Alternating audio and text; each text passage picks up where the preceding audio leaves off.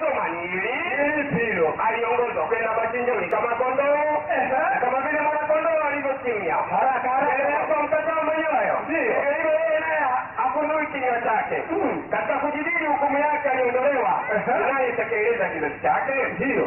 Ah, yule zote kajibu Filipo akasema. Akasemaje? Na kuomba, na kuomba. nabii huyu asema maneno haya kwa habari ya nani Huyu Isaya anasema maneno haya kwa habari ya nani? ni habari zake mwenyewe Ni zake mwenyewe au mtu mwingine au mtu mwingine? Maliza baba. Filipo akafunua kinywa chake na Akasemaje? naye akaanza kwa andiko hilo hilo akimhubiri habari njema Ya nani? za Yesu Kristo. Sasa ni mduga swali tena, maana yeye hajui habari hizo nani.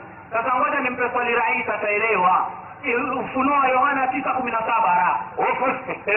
Yohana ah, soma ile Ufunuo wa Yohana moja kumi na saba haraka haraka, swali pale, ataelewa. moja kumi na saba Eh. inasema nami nilipomwona nilianguka miguuni pake kama mtu aliyekufa akaweka mkono wake wa Muda umekwisha. Unasikia hapo unazungusha shingo si mchezo. Dakika mbili, swali dakika mbili. Haya, lakini kwa haya, endelea dakika moja tunakuwa. Maliza hiyo haya. Ili tukusaidie. nilipomwona alianguka miguuni pake kama mtu aliyekufa akaweka mkono wake wa kuume juu yangu akisema Ndio. usiogope. Mimi ni wa kwanza na wa mwisho. Naambe na. Aliye hai.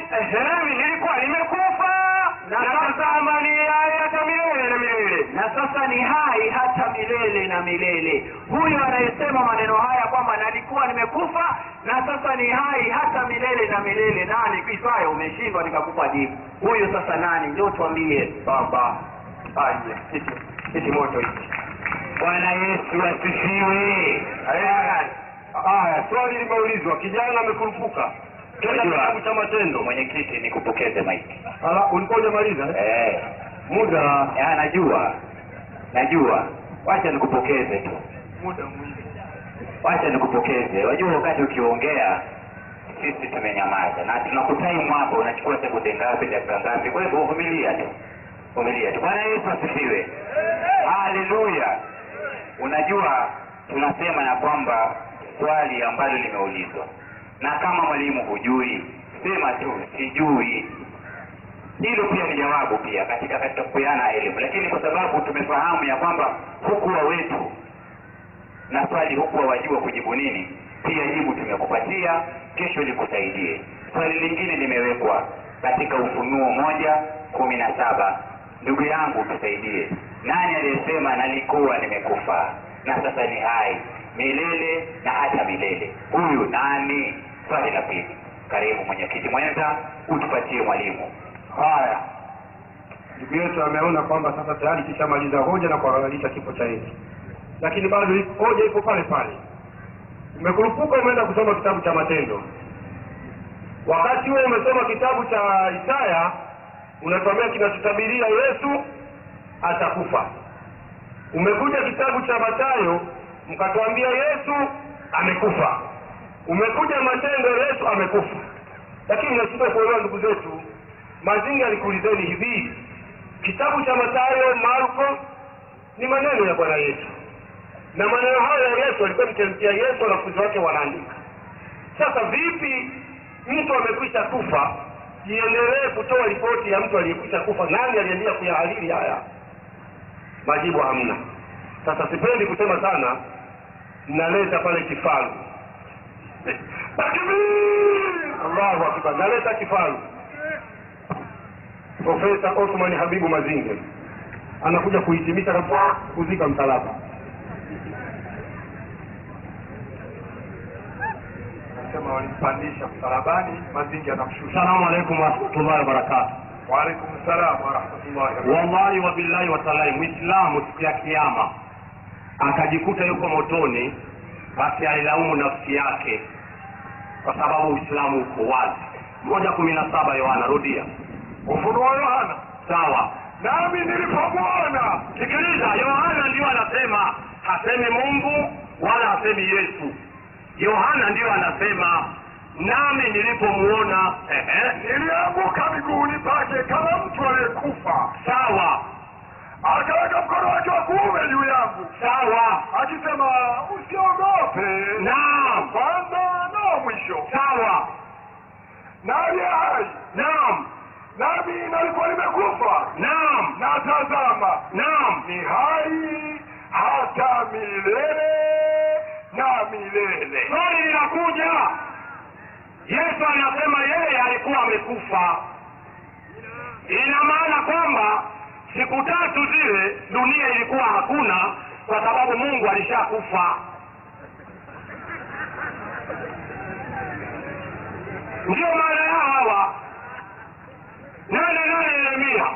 Yeremia. yeremia inasema inasemaje yohana anavyosikiliza wasemaje? sisi tuna akili. Sisi hivi tuna akili. Bali taurati ya bwana tunayo pamoja nao. kwa sababu gani? Lakini tazama nini? Kalamu. Kalamu. Yenye uongo. Imefanyaje? Naam. Ah, imefanya taurati yote kuwa uongo. tatu kumi na sita yohana tatu kumi na tatu kumi na sita yohana naam Eh, kwa maana ah, tatu kumi na sita yohana na u- na uzima wa milele. Ah, ah, siyo hiyo. Tatu kumi na sita yohana. Inasema naam. eh, kwa maana jinsi naam mungu aliupenda ulimwengu. Sikiliza maneno haya. Kwa maana jinsi hii mungu aliupenda ulimwengu. Hata akamtoa mwanawe pekee. Yesu ili kila amwaminie. Naam. Asipotee. Bali bali apate uzima wa milele ukiwa bungeni ukiona kitu kiko sawa. Wananipigania makofi? Kwamba yuko mungu ana mwana. Huyu mwana akaletwa duniani. Sasa tunauliza hapa huyu baba mwenye mtoto mtoto anaweza kufa yeye asijue sasa tulitaka mungu sasa atupe taarifa wapi yesu kafa? Yohana sio mtoto wake yesu.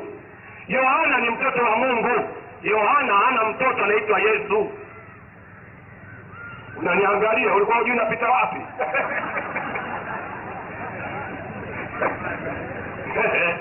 Eti alikuwa ananiangalia. Hebu tufanye conclusion.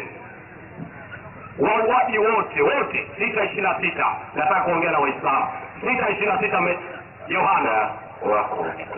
Wewe angalia. Dakika ni tatu. hebu angalia. Hebu ngoja dakika nne tulia kwanza.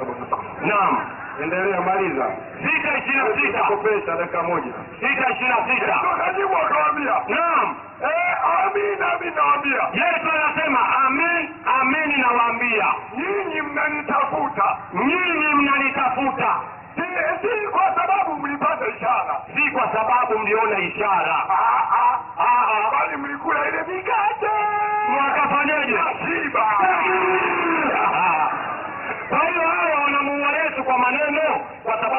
mikate kanisani. Kunja ngumi mwislamu kunja ngumi. Tikisa kidogo. Koa kidogo. Wauaji wakubwa hawa. Hawa wauaji wakubwa.